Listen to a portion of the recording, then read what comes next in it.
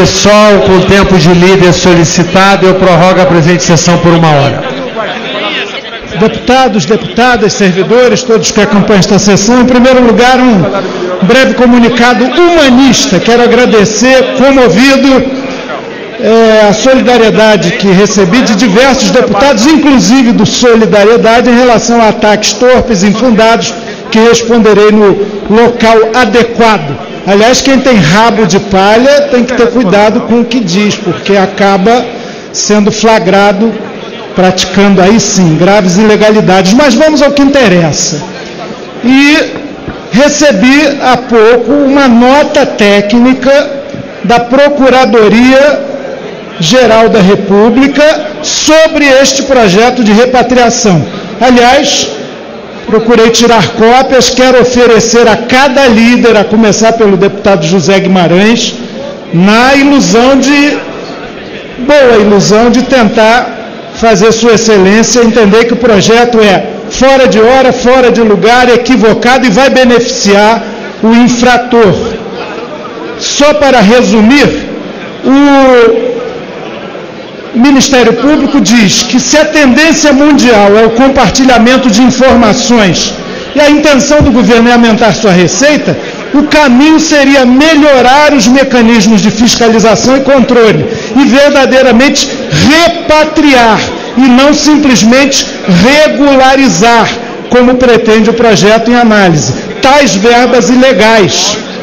Para isso há o COAF, uma série de órgãos que ajudam, inclusive o Ministério Público, se colocando à disposição na persecução penal e no combate à evasão de divisas, à lavagem de dinheiro e outros ilícitos. Então, a nota é longa, é uma nota técnica muitíssimo bem fundamentada, recomendando, sugerindo respeitosamente aos parlamentares a rejeição da matéria pelas razões que ao longo desta noite nós vamos detalhar e explicitar. É muito importante na política, no trabalho legislativo, a gente não comer gato por lebre. Eu não tenho dúvida de que o governo tem originalmente uma intenção de recuperar ativos ilícitos que estão no, exterior ou para lá foram sem a devida informação ao fisco. Agora, isso pode criar uma água turva que venha a beneficiar aqueles que praticaram toda sorte de ilícitos, grandes fortunas do Brasil, de gente até que em reuniões sociais pode se dizer patriota, estão lá no exterior e podem e devem ser recuperados não por uma anistia que a comissão e o relatório do deputado Manuel acabaram por ampliar muito. Aí a gente vai estar tá efetivamente beneficiando quem não pode ser beneficiado. Então a aprovação desse projeto, tal como ele está, pelo plenário da Câmara, seria um escândalo. Quero desde já recomendar aos nobres colegas, todos os interessados, a leitura dessa nota técnica.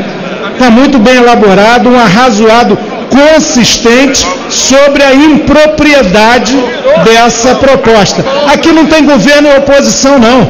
Tem modos e meios de recuperar ativos e não beneficiar quem praticou graves ilícitos. É disso que se trata. Eu espero que a gente possa fazer um bom debate e evitar esse atentado contra a ordem financeira. E por fim, quanto aos conflitos ali, 30 segundos, presidente. Eu entendo que a manifestação é sempre livre, é sempre boa, desde que pacífica.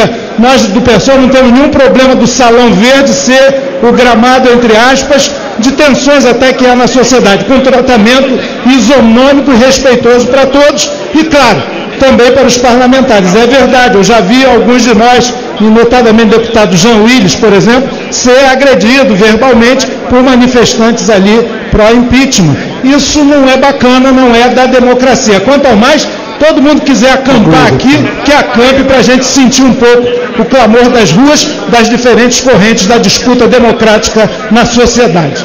Rede.